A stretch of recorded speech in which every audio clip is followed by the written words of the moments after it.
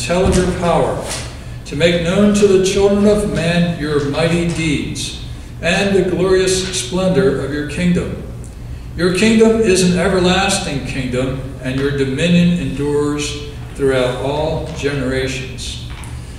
Our Heavenly Father, we praise you for your dominion over the heavens and the earth. You created the stars and the uh, comets and the galaxies above us. You also formed the sun and the moon and the planets around us. We thank you for this earth that you've given to us. We thank you as well, O Lord, for the heavenly beings, the angels above, and for the cherubim that stand before you. And we thank you for the redeemed of the Lord who are in your presence even now from uh, the, the, years of uh, human existence here. We pray for your blessing on us as we gather here in this little community. We pray, Lord, that you would look upon us in your mercy and love we pray that you would bestow your blessing on us and grant us the help of your Spirit as we draw near to you. We pray that Jesus would be lifted up and his glory proclaimed. And we ask it in his great and glorious name. Amen. Grace to you and peace from God our Father and the Lord Jesus Christ. Please remain standing for our first hymn, and it's a great hymn.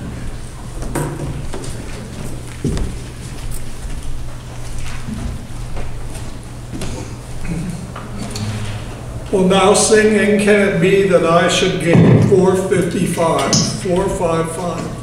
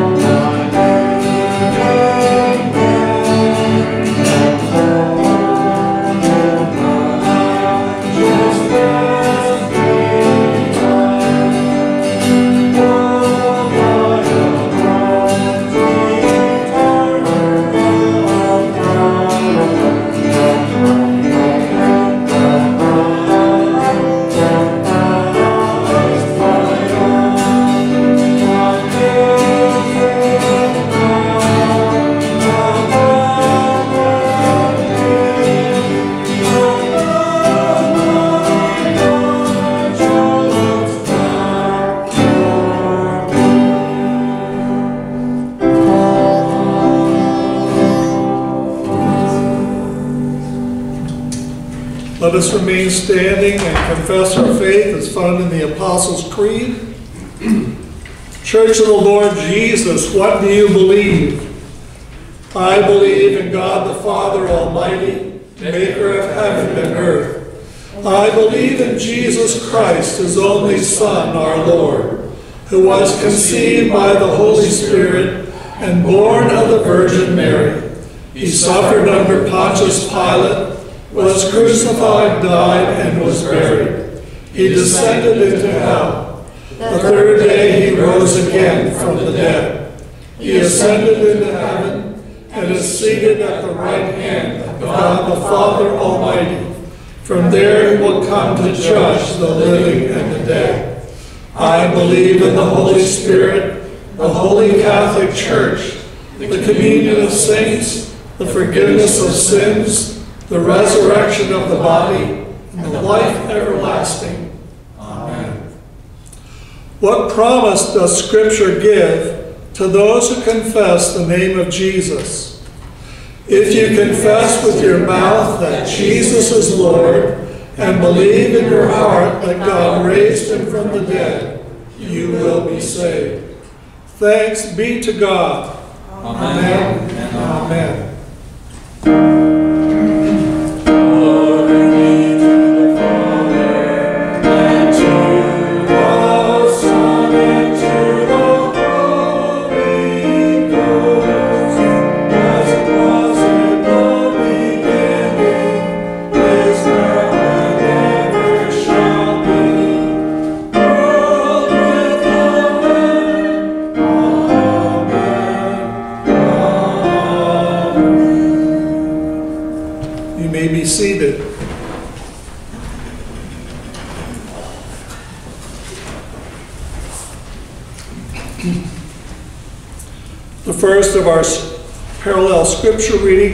Found in Psalm 66, verses 1 through 7 this morning. Psalm 66, verses 1 through 7.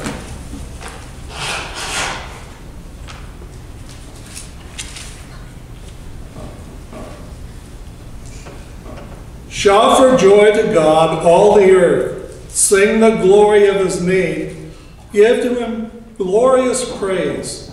Say to God, How awesome are your deeds! So great is your power that your enemies come cringing to you. All the earth worships you and sings praises to you. They sing praises to your name. Come and see what God has done. He is awesome in his deeds toward the children of man. He turned the sea into dry land. They passed through the river on foot. There did, there did we rejoice in him, who rules by his might forever, whose eyes keep watch on the nations. Let not the rebellious exalt themselves. Next, we're reading Matthew 8, verses 28 to 34. Matthew 8, 28 to 34.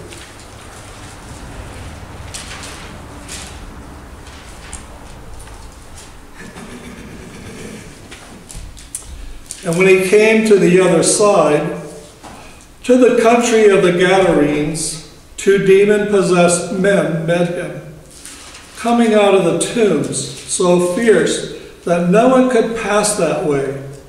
And behold, they cried out, What have you to do with us, O Son of God? Have you come here to torment us before the time? Now a herd of many pigs was feeding at some distance from them. And the demons begged him, saying, If you cast us out, send us away into the herd of pigs. And he said to them, Go. So they came out and went into the pigs, and behold, the whole herd rushed down the steep bank into the sea and drowned in the waters. The herdsmen fled, and going into the city, they told everything, especially what had happened to the demon possessed men. Behold, all the city came out to meet Jesus. When they saw him, they begged him to leave their region. Finally, we're reading in Colossians 1 3 to 14. Colossians 1 3 to 14.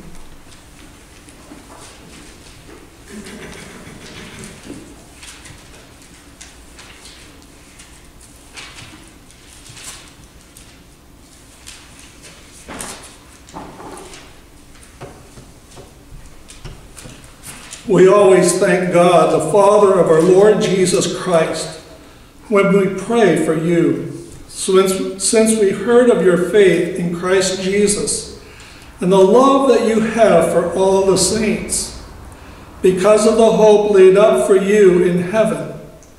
Of this you have heard before in the word of the truth, the gospel, which has come to you, as indeed in the whole world it is bearing fruit and increasing, as it also does among you, since the day you heard it and understood the grace of God in truth, just as you learned it from Epaphras, our beloved fellow servant. He is faithful, a faithful minister of Christ on your behalf, and has made known to us your love in the Spirit. And so, from the day we heard, we have not ceased to pray for you, asking that you may be filled with the knowledge of His will and all spiritual wisdom and understanding, so as to walk in a manner worthy of the Lord, fully pleasing to Him, bearing fruit in every good work and increasing in the knowledge of God, being strengthened with all power according to His glorious might for all endurance and patience with joy, giving thanks to the Father who has qualified you to share in the inheritance of the saints in light. He has delivered us from the domain of darkness and transferred us to the kingdom of his beloved Son, in whom we have redemption, the forgiveness of sins.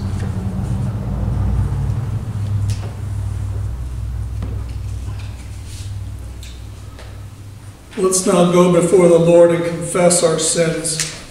And I'm reading a prayer from the minister's prayer book of, uh, for confession of sin this morning. Shall we pray? Lord of heaven and earth, we confess that we have sinned against you. Have mercy upon us, O Lord, according to your great kindness, according to the multitude of your mercies. Do away with our offenses for the sake of Jesus Christ, wash from us our sins and make us clean in your sight. We ask in his name. Amen.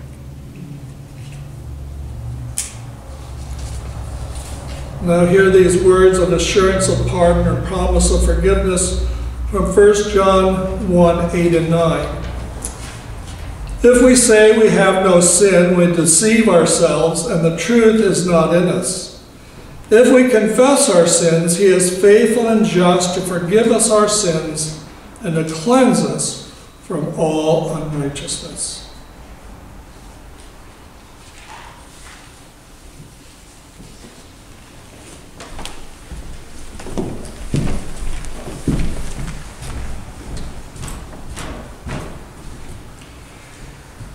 This morning we come to the ninth chapter of the Westminster Confession of Faith, section 3.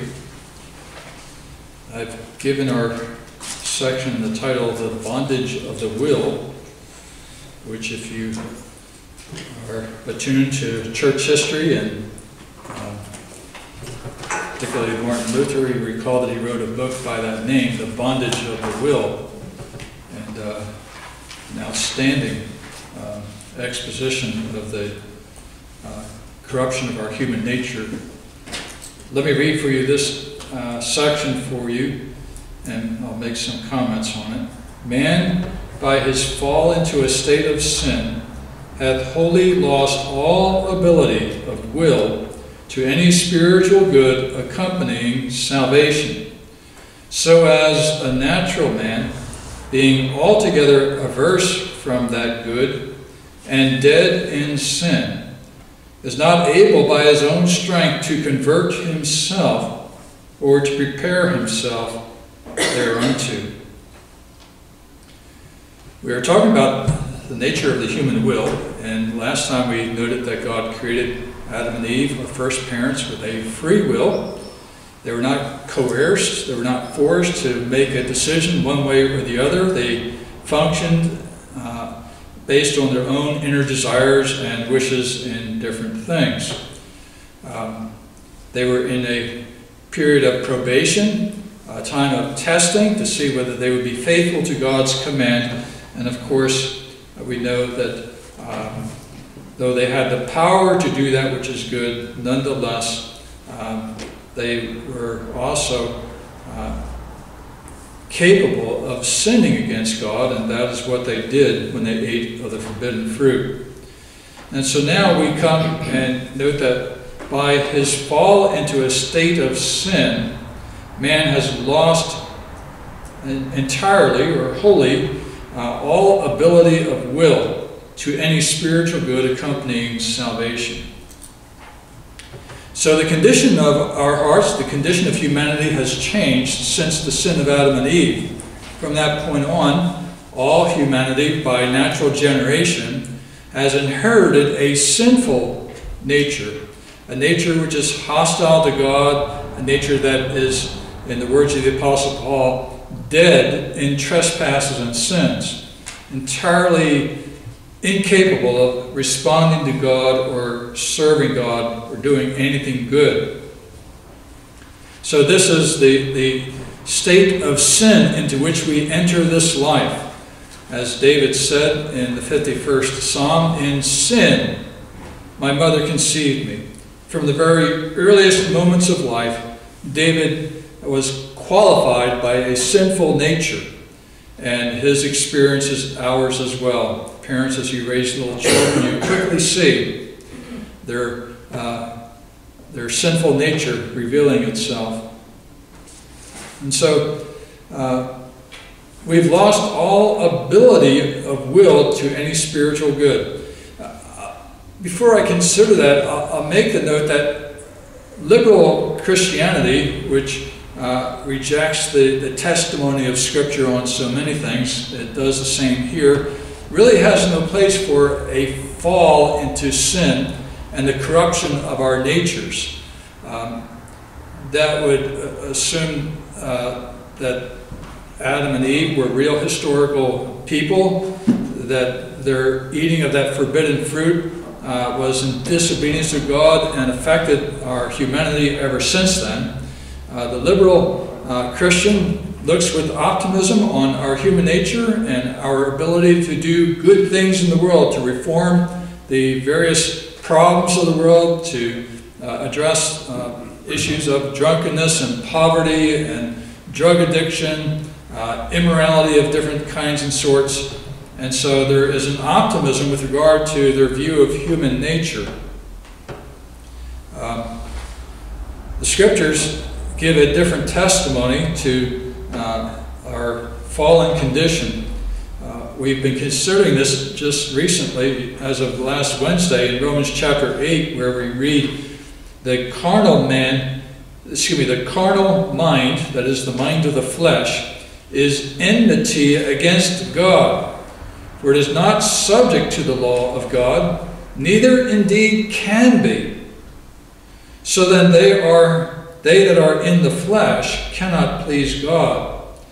Paul's estimate of our human nature is that it is entirely, totally depraved. It is incapable of doing anything good that would earn or merit salvation from God. And so the bent of our nature, the direction of our nature is away from God towards sin, towards self expression, and there is a refusal to submit to God in any form or fashion. Uh, Jesus is of the same mind as the Apostle Paul, as you would expect. Jesus said that no man can come to me except the Father which hath sent me draw him. Look, this is absolute language. No one can come to me. You may preach the gospel to many different people, but their hearts are bent towards corruption and sin and they will not turn to Christ. They cannot turn to Christ. Their hearts are steadfastly opposed to that. Jesus himself says, No one can come to me. They're incapable of doing that. And he goes on to say in that same chapter, verse 65, it looks like, he said, Therefore I say unto you that no man can come unto me except it were given him of my Father. There needs to be a sovereign, gracious work of God in someone's heart to draw them to Christ. Apart from God entering the equation and changing the situation, that person will never be saved. And so it's not just the liberal Protestant that has a problem, but the Arminian as well that recognizes with the liberal Protestant that man is basically morally neutral and has the ability to accept the gospel on his own. Scripture is very clear. Man does not have that ability. Does that mean that they are uh, the, the subject of fate, that they're forced to do uh, something opposed to the will, that even if they want to be saved, they cannot be saved? Well, they don't want to be saved. They will not want to be saved. It's just not in their nature. I've used some of these illustrations in the past, but you take a bird that's flying in the, the sky, a blue jay, a cardinal, a sparrow, what have you, a crow, an eagle. You can't take that bird. It's free to do this, but you can't take that bird and put it in the lake and expect it to swim underwater. It's not going to be happy there. Its nature is to fly. It's not even really going to run on the ground much at all, hop a little bit here and there, but its nature is to fly. By the same token, you take a fish that's swimming in the water, loves to be in the water, you take that fish and bring it out to the, the, the shoreline and put it on the ground, what's it going to do? It's going to flop around and try to get back as best it can back into the water. Its nature is such that it wishes to live within the, the realm that it is most comfortable with. And man is in the same way. His nature is such that he loves his sin. It's his atmosphere. It's his way of life. It's what he does. He loves his sin. He loves being away from God, and he will not come to God any more than a bird will swim underwater or a fish will walk about along land. So, the confession says, as a natural man, being altogether averse from that good and dead in sin, He's not able by his own strength to convert himself or to prepare himself thereunto. Uh, there, there's no, no even preparation on the part of the unbeliever for uh, salvation. Uh, on his own, he cannot uh, begin to repent of his sins. He cannot be convicted of his sins uh, in, terms of an offense against God and a desire to seek reconciliation that is foreign to him. He might feel bad about different things that he does. He might be conscious significantly of his guilt and the corruption of his nature, but that doesn't mean he's going to come to God in Christ and seek for forgiveness. No, he'll try to reform his life, he'll seek counseling, he'll do this or that, he'll seek some religious experience that will uh, try to resolve that, but there, there's no hope for him unless he comes to God in Christ. So the will of man is bound by his nature. The nature of man is uh, sinful and corrupt through and through. He will operate freely within his nature. He does what he wants to do. He doesn't want to come to Christ. He doesn't want to serve God. He wants to live his own life as he sees fit. He will be held accountable for that, uh, and God will judge him for that. And so he retains his responsibility.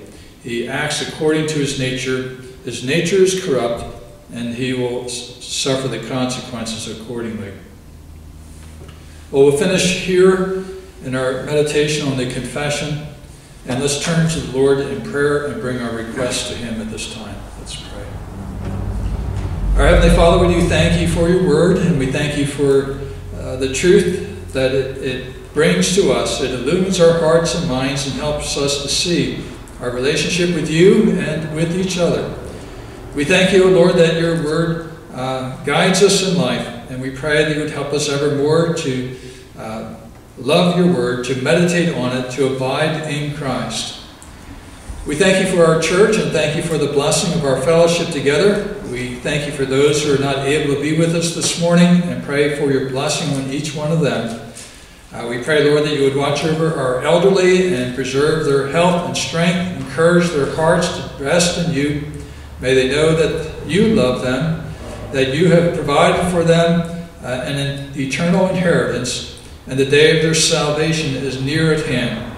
We pray, Lord, for your blessing on them and pray that you would help them to look to Jesus. We pray then for your blessing on Eve Thomas and pray that you would encourage her to know that you love her and we love her as well.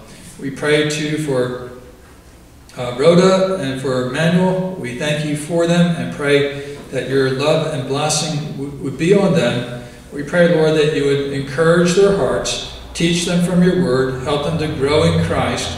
We pray, Lord, that their faith would be strong. We pray for Manny that you would bring him to faith, that you would do a marvelous and powerful work, uh, helping him to see the Savior, Jesus Christ, as his own Savior, the one who loved him and laid down his life for his salvation. We pray for your blessing on him. We pray too for others, uh, other loved ones in our families who are outside of Christ and uh, do not serve him. We pray, Lord, that your mercies would be on them. We pray that you would bring them life and salvation. We thank you for your gospel, that it is powerful to save we thank you, Father, that you draw people to Christ, that they might be saved. And so we commit these, our loved ones, to your fatherly care and pray that you would have mercy on them and deliver them from darkness and sin and bring them to the light of truth, the light of the gospel. May they find peace with you, reconciliation, and a new heart, a new life. And we pray that you would be glorified in this, that Jesus would be exalted in what he is able to do in the hearts and lives of many. Father, we pray that you would watch over Jesse and Margaret and their new home. We thank you for providing them a place to stay, and we pray for your provision and care for them. We pray that you would sustain Jesse, uh, bless the treatments he receives for his uh, leukemia. We pray, Lord, that if it be your will, you would be pleased to extend his days, bless him with good health, and give him great joy in his time with you and with Margaret and with loved ones as well. Father, we pray that you would uh, watch over Margaret's health and bring her healing and strength uh, from day to day. Father, we pray that you would bless uh, um, Christian Rep as he begins his ministry in um, Park Church as their uh, organizing pastor. We pray, Lord, for your blessing on him and his labors. We pray that your word would flourish through him. We thank you for his wife and uh, children and pray that you would protect and bless them as well. And Father, we pray for Greg O'Brien and the work in Downingtown. We thank you for this effort to uh, proclaim your name in that community. We pray, Lord, that as you have raised up four men to serve as elders within the congregation. We give you thanks for that, and we pray that you would bless them, that they would uh, grow together in faith and love and be a, a joy and a help to your uh, people there. We pray that you would provide for their financial needs and enable them, strengthen them to become uh, a fully uh, particular church of the Orthodox Presbyterian Church. We ask for your blessing on uh, Greg and his family, that you would strengthen and encourage them and provide for their needs. We thank you for the many ways in which you watch over us. We pray, Lord, that you would bless uh, our congregation, be with Esther. We pray, Lord, for your hand of healing on her. Uh, we thank you for her and for her ministry to your people. We pray, Lord, that you would sustain her in life. Uh, continue to watch over John and his health and continue to help him to uh, be strong, and we ask for your blessings on him. Father, we uh, commit these things and, and many others to you in prayer and pray that you would teach us to pray, even as our Lord taught his disciples to pray, saying, Our Father, which art in heaven, hallowed be thy name. Thy kingdom come, thy will be done, in earth as it is in heaven. Give us this day our daily bread, and forgive us our debts as we forgive our debtors.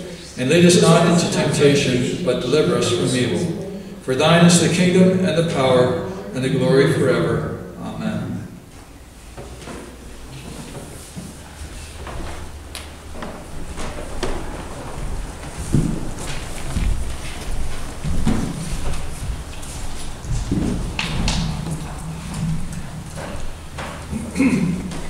Our next hymn is 691, It Is Well With My Soul. 691.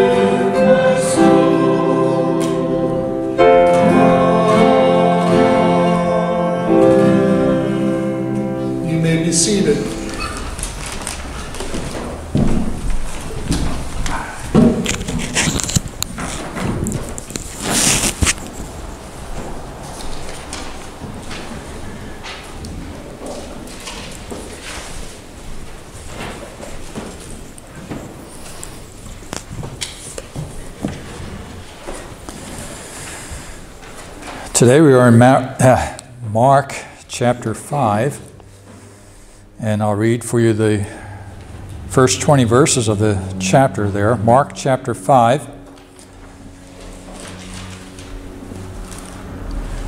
They came to the other side of the sea, to the country of the Gerasenes. And when Jesus had stepped out of the boat, immediately there met him out of the tombs a man with an unclean spirit. He lived among the tombs, and no one could bind him anymore, not even with a chain.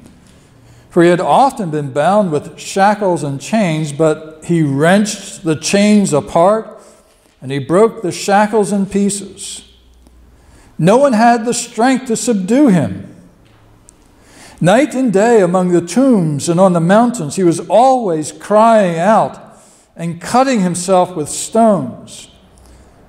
And when he saw Jesus from afar, he ran and fell down before him. And crying out with a loud voice, he said, What have you to do with me, Jesus, Son of the Most High God? I adjure you by God, do not torment me.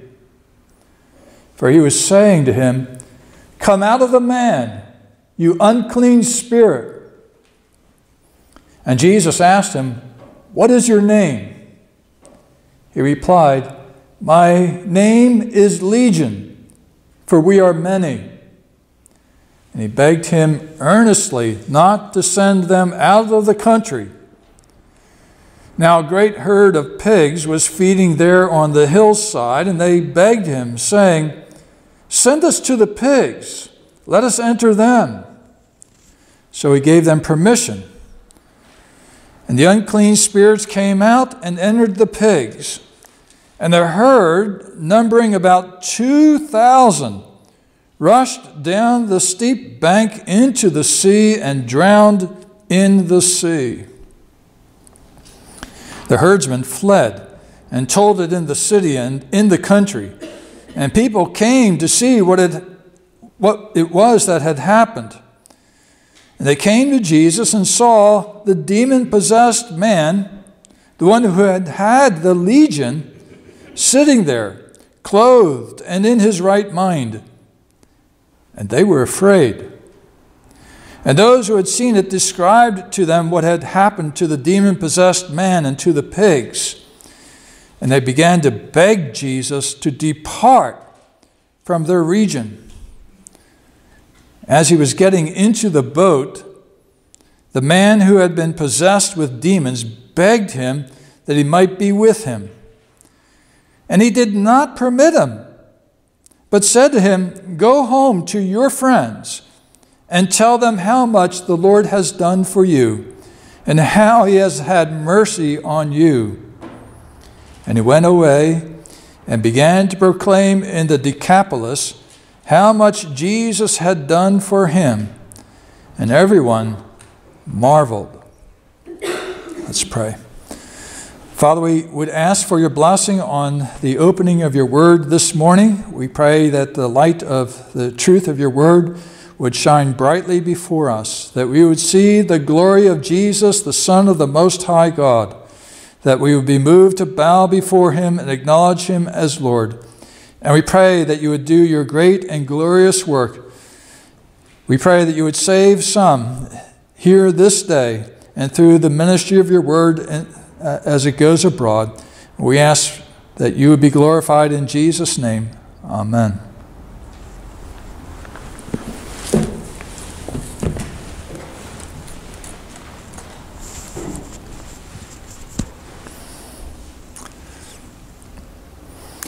Last time we saw Jesus out in the stern of the boat while waves were splashing up over the, the sides of the boat, winds were blowing, and it was a wild scene. Jesus, being exhausted, was sound asleep in the back of the boat, but the disciples, alarmed by what they were seeing, these experienced fishermen who were in their element, who knew how to handle boats and uh, were accustomed to storms, they were terrified. They felt they were going to be killed that night. And here's Jesus in the back of the boat sleeping. So they quick rouse him and ask him, Don't you care that we're perishing? This is a life and death situation for them. And we saw Jesus stood up in the boat, put his hands out towards the winds and the waves, and said, Peace, be still. He rebuked the winds, the waves began to calm, and the other boats that were in the vicinity similarly saw everything come to a very quick and calm resolution. This was no ordinary event. This was the power of Jesus, whom John's gospel intends to present as the Son of God. Only God, the God who created the heavens and the earth, who formed the seas and uh, brought about the dry land, only this God could tell the winds and the waves to be still, and they would obey him.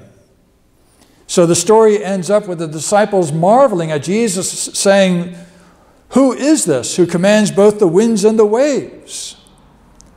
This was blowing their minds as much as they've seen so far of Jesus and the miracles that he's performed, even the uh, healing uh, uh of those who are demon possessed. This was well beyond what they've experienced or what they were able to comprehend. God puts us in situations where our understanding of Jesus needs to be deepened. Our uh, view of his person, his glory, uh, his, his wonder needs to be expanded in our hearts and minds. We too often have too small of a view of God and what he is able to do for us in Christ. We have too shriveled an appreciation for the salvation that we've received in Christ and the glories that are yet to come. We don't think much of all that is yet before us in terms of the progress of history and the coming of Christ at the end of history and the new heavens and the new earth. These things go far beyond what we are accustomed to thinking about. We turn on our news, we see the wars, we see the poverty, we see the, the stock market and its gyrations, we see all kinds of things, and we wonder What's going on? Jesus said to his disciples, Look up, for your redemption draws nigh. Have a larger view of what God is doing in the world today.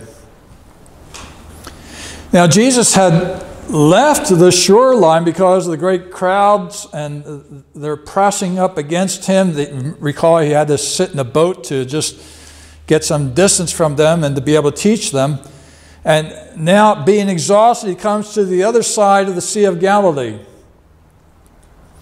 One might think that the reason for this was to escape the crowds, get to an area where Jesus was relatively unknown, get to a place where it's sparsely populated, so that Jesus and the disciples could have a time of rest. It's been nonstop, almost 24 7 for them, constant. Uh, activity uh, uh, and pressures on them. And now finally, they're looking for an opportunity to relax. And so they cross the Sea of Galilee, and there's some question as to where exactly it is that they land. Uh, the, the transmission of the Greek text, not just Mark, but Matthew and Luke as well, have some different names here as to the, the location where this uh, uh event will occur. Uh, is it Gerasa? Is it Gergesene? Is it uh, the Gadarenes? Gadara? Um, what is the name of this place and where precisely is it located? And a couple of the names are, are located in the south southeast section of the Sea of Galilee. And by the way, all of this is taking place in Gentile territory, not among the Jewish people. And so the, the, city, the, the 10 cities, the Decapolis, are largely uh, pagan cities. And the people inhabit them are, are not uh, followers of Yahweh, not uh, observers of the Jewish religion, or anything like that. Uh, so it's reasonable that Jesus and his disciples going there would expect that they would not be recognized, that people wouldn't know who they were, they wouldn't be crowding around Jesus looking for miracles and so forth. Um, it would be a time of rest. The one thing about, excuse me, I, I should finish the, the description of the location here. Um, some of the locations posited for it to the south are a little bit too far removed from the shoreline in terms of uh, the, the, the, story that unfolds for us. We're given some uh, geography here, a picture of the landscape uh, by Mark. Um, there, there is a cliff nearby, of course, where the pigs will go down, and from the cliff goes right down into the sea. So you've got that rather major uh, location there. And then also you have a lot of tombs there where people would be buried. There were caves in the area, which was a natural place for people to bury their dead. So, does that fit uh, the landscape that you find in the southern part of the Sea of Galilee, the south southeast? And when you look at it, it really doesn't.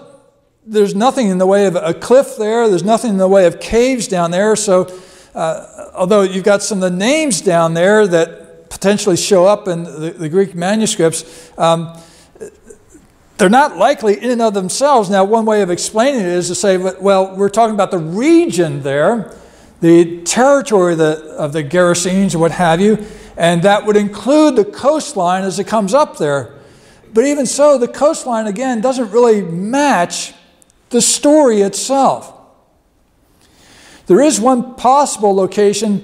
Uh, roughly halfway on the east side of the Sea of Galilee. It's uh, called Gergesa, if I remember correctly. It's a city lo- located just to the east and central to the Sea of Galilee. And uh, it's the, the city itself is just a little bit off the, the coastline there. Uh, but along the coast, you do have a cliff that leads down into the, the sea and you have caves on the hillside uh, where the dead might be buried. So it's quite possible that this is the site where the uh, miracle took place, the, the confrontation with the demoniac. And so Jesus and his disciples uh, arrive at the shoreline. They uh, begin to step out and to pull the boat up to the sh- shore onto the beach there, and Jesus steps out, and as soon as he gets out, you see Mark's uh, narrative skill here, his habit, his action orientation, which I think reflects on Peter being really the, the one who's behind Mark and telling the story. It's his eyewitness account. Um, you have Mark saying, immediately, this man comes running down from the caves up above, from the tombs up above, running towards Jesus. Well, what was that like? You're there with the disciples, you're coming off the boat, and all of a sudden this guy comes running towards you, and he must have looked like a wild man. I have to think that his hair is kind of all over the place, kind of like certain people here. Uh, uh, you know, beard all over the place, and uh, he's dirty, he's filthy, he's been cutting himself, so there's scars and there's blood on him, and he's yelling, and he's coming down the mountain. You wonder what in the world are we dealing with here? A madman. But it seems that as he comes out of the tombs and starts running down towards the coast there, a change comes over him. And he realizes this is just no ordinary visitor that he's going to terrorize, but this is Jesus, the Son of the Most High God. The demonic presence within this man could see but we can't see immediately. We look on Jesus perhaps and see a, you know, a typical, typical Jewish man, so high and certain sort of build, look to his eyes and so forth. We don't perceive that this is the Son of God. But within the demonic realm, they can see that front and center. This is no ordinary person that stepped on the shore. This is the Son of the Most High God. And so he runs up to Jesus and bows before him. Remember, Mark is going to tell us about this character that he inhabits the tombs. So there, there's something of a, a, a, love for death about him, a, a celebration of death. He's cutting himself, so he's harming himself Uh, and the, the townspeople could not control him. There were efforts by the civil authorities, by uh, the townspeople to bind this man up, tie him up in chains, shackle him, and try to control him because he was attacking people. Maybe he was a murderer as well. But he was so powerful because of the demonic presence within him that he snapped those chains off. Um, you, you see here very clearly that there is a demonic power at work within him. And that is what elevates his strength as a human to do superhuman things. Um, we can look for different evidences of demonic presence in people like this sort of thing. Um, superhuman strength, just a, a love for that which is corrupt and evil. We look at our world today and we see the kinds of things going on, particularly in our Western world view, which is naturalistic, science based. We have our technology, our skills. we we manip- manipulate nature to do what we want to do and stories of demon possession, stories of healings, and these kinds of things, which come out of the biblical period of time, are things which, to the modern worldview, are um, highly questioned, to say the least. Uh, considered more mythological, superstitious, not grounded in reality. Reality is chemicals, and reality is atoms and reactions and these kinds of things. And so our modern world is not used to listening to this kind of a story and recognizing it as credible and as true. Now, Mark is presenting it as real history. There are multiple people witnessing to the, the account. When Mark writes his account uh, and it gets published, perhaps the townspeople in the Decapolis, all these people the, to the east, would know about this man who was healed and indeed, there were townspeople who come and see what took place, and so they could witness to the fact that this guy was out of control. We could not do anything with him. And then Jesus comes and meets him, and suddenly the man is changed. He's dressed, he's clothed, and in his right mind. What happened here? This took place in real history. There were witnesses who could testify to this event. And science does not take into account everything. Science doesn't take into account the human soul, our feelings, emotions, um, all these kinds of things. Uh, what is love? Is that a chemical reaction? Is joy simply a chemical reaction? There's more to it. There's a spiritual side of life, and we need to uh, receive this testimony as uh, more than credible, as true. So the, the man uh, bows before Jesus and, and says, I know who you are. You're Jesus, Son of the Most High God. And this was a way in which uh, the, the, view of some is that uh, those who were engaged in exorcism would want to know the name of the demon. And by having that name, they could have a certain power over that demon and cast the demon out. And so when the, the, the demon says, I know who you are, you're Jesus, the Son of the Most High God, um, it's almost as though as he's trying to flip the script and uh, get control over Jesus in this way. Um, but Jesus uh, commands the unclean spirit to come out of him. The unclean spirit is terrified by this. Uh, he's frightened by the fact that Jesus may want to cast him into the abyss, which is to prematurely send these demons into hell itself and confine them there so that they cannot continue to wreak havoc within the, the community the way they have been, perhaps for centuries.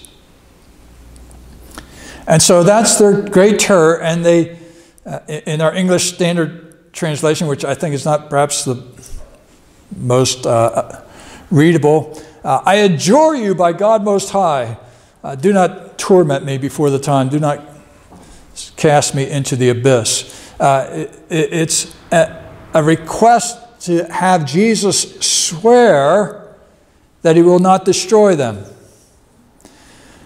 Now, you'll note in the text that Jesus does not respond to that request. He does not grant the request. He's commanding the, the uh, demon, and as it turns out, demons, uh, to come out of the man.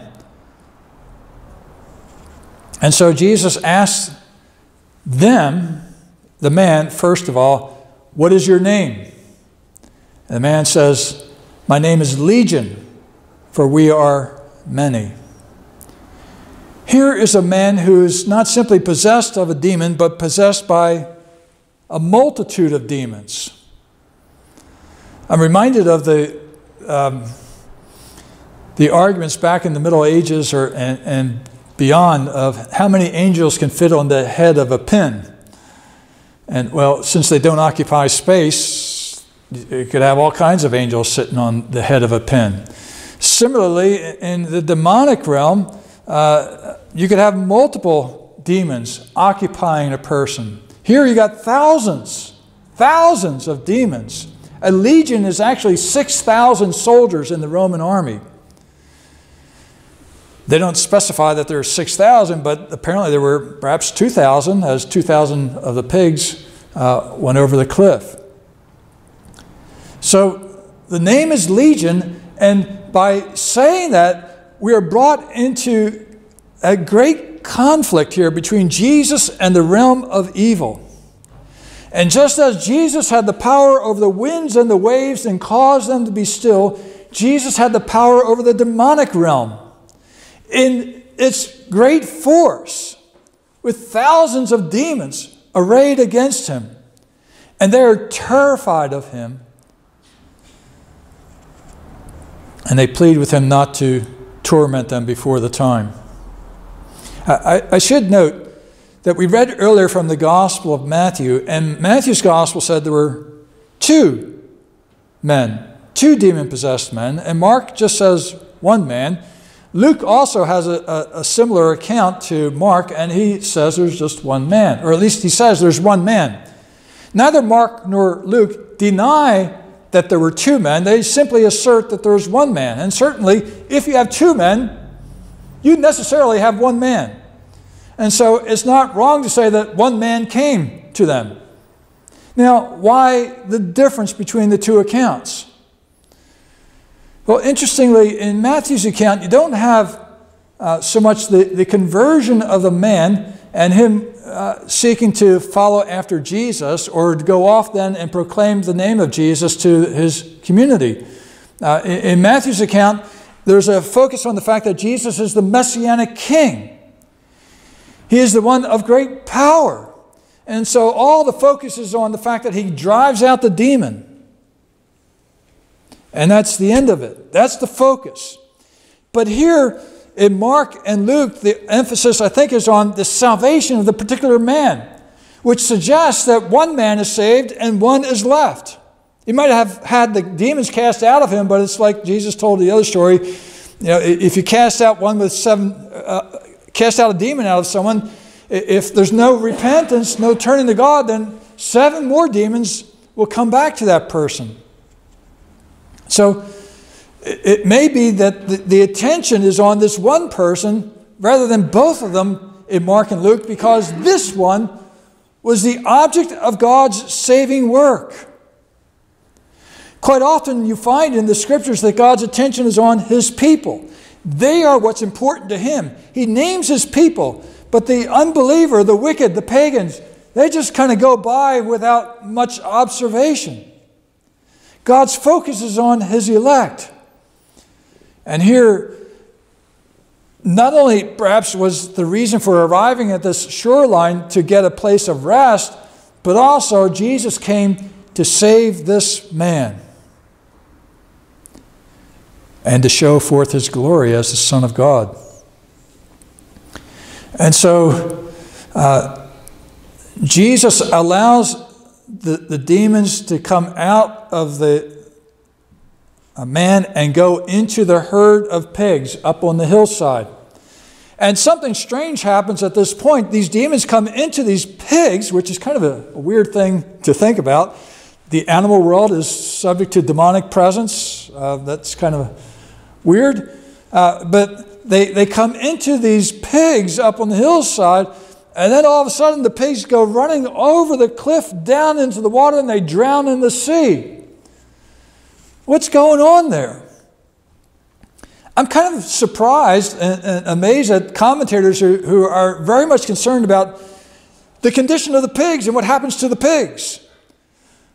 2,000 pigs die. Does Christ have no compassion for the, these animals? Well, yeah, but he has a greater purpose in mind. To me, this is symbolic of the fact that he is casting these demons into the abyss. How else, I think, can you read that? The pigs going off over the edge into the water, into the abyss to be destroyed. It's symbolic of the fact that Jesus was, in fact, going to cast these demons into the abyss, into hell itself, so that they could not torment the world any longer. The Apostle John writes in 1 John 3 Verse 8 that the Son of Man came to uh, destroy the works of the devil. That's why Christ came into the world to destroy the works of the devil. And in Colossians chapter 2, Paul talks about how at the cross, Jesus disarmed the rulers and authorities. The Father, excuse me, disarmed the rulers and the powers, uh, the demonic realm. It's at that moment that the demonic realm is restrained dramatically. And I would suggest that with the advance of the kingdom of God throughout uh, the world, the forces of the demonic world have been driven back. And you don't see the kinds of things that Jesus and the disciples were experiencing there. Uh, which reminds me, it, it, it's kind of a dangerous and exciting thing to be following Jesus because all things, all kinds of things happen around him. And, and you have this attack of the demons coming, uh, the, the apparent attack of the demons and the man coming towards Jesus, but that gets resolved. But uh, as we follow Christ, we can be exposed to all kinds of dangers. Jesus said, If they hate me, they will hate you. If they persecute me, they will persecute you. I read a story this week of a, a Christian a, former uh, Army medic who uh, was doing some street preaching in Arizona. Was on a busy corner preaching and inviting people to come to church services at the Victory Christian Chapel or something like that, where he belonged. So he was out street preaching, and apparently this wasn't the first time he was there. He was there on multiple occasions, and eyewitnesses of this said that people would be yelling at him, screaming at him, cursing at him, I don't know, maybe even spitting at him and that sort of thing. Well, this week, on Wednesday, somebody shot him in the head, put him in critical condition in the hospital. Last I heard, he was still in the hospital. Could very well die from that, obviously. It can be a dangerous thing following after the Lord Jesus and confronting the wicked of this world. There is an almost demonic activity in the world today that is mind boggling when you think about it. I don't have time to get into that, but um, Jesus has come to destroy the works of the devil. And most especially, Hebrews uh, tells us, uh, I believe in the second chapter, at the end of the, the chapter, about verse 14, that Jesus took on our human flesh so that he might destroy death and the one who has the power of it. So here is a man who loved death, indeed, was threatening himself with cutting himself the way he did, a man who uh, made life miserable for others who they could not control. Jesus comes, rescues him from the demonic host that was within him, casts these demons into the abyss, And the man is delivered. Some say when Jesus asked him what is his name, he was trying to get the man, the personality of the man to come through and to reveal itself and to distinguish the man from the demons. And it was the demons that answered, so the man was just thoroughly subsumed under this demonic presence. But now he's set free. And Mark records he was dressed and in his right mind. What an amazing thing God does for us in his work of grace and salvation. He cleans us up, straightens us out, enables us to think more accurately about the world around us and to serve him. Something great and dramatic occurred in this person. One moment given to death, darkness and evil. The next moment, cleaned up, clothed in his right mind, and he desires to be with Jesus. Why wouldn't he? He wanted to come along, follow Jesus, learn more of him. But Jesus does not uh, grant him his request. He says, Go back to your home, go back to your cities Tell your friends and your family all the things that God has done for you and how God had mercy on you. And He does that. When Christ delivers us in a marvelous way from our sin, He calls us then to go out and to tell others. And it can be a very simple thing Jesus saved me, He gave me a new life. That's all you got to say, really. Then come to church, come to First Presbyterian, wherever, where you can learn about Jesus, but Jesus saves. It's the great message of the gospel. It can be very simple. The man did not have theological training. He did not walk with Jesus and listen to his teaching and then could quote it. He didn't have any background in the Old Testament scriptures, probably as a Gentile. But just go and tell people what God has done for you, what Jesus has done for you, and that's what he did. This is a wonderful story, but the goal is not so much to talk about a wild man and his deliverance, but to point our attention to Jesus and who he is the Son of the Most High God, who has power over the demonic world, power over the natural world, who has compassion on those who are enslaved and sets them free. And as Paul says in Colossians 1, we too once dwelt in the realm of darkness, in the dominion of darkness, but we've been set free and brought into the kingdom of light, the kingdom of God's dear Son. And so we are saved. Let's pray. Lord, we pray that your blessing will be on your word.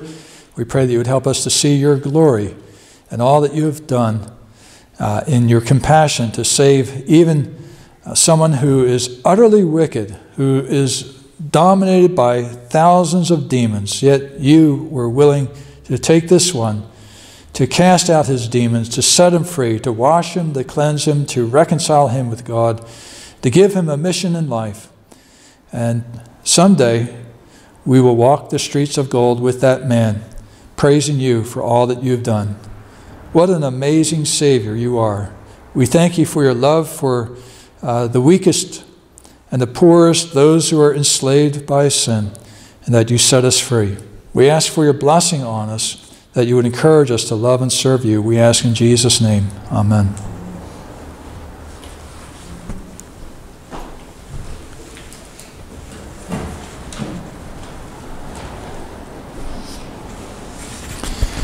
This time we'll bring before the Lord our morning tithes and offerings.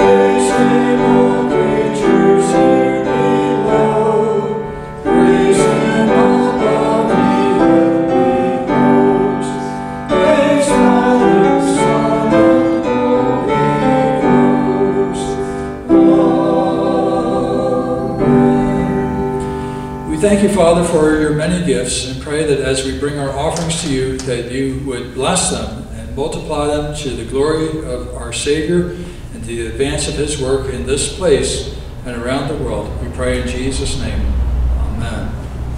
Please remain standing, and Rick will lead us in our final hymn.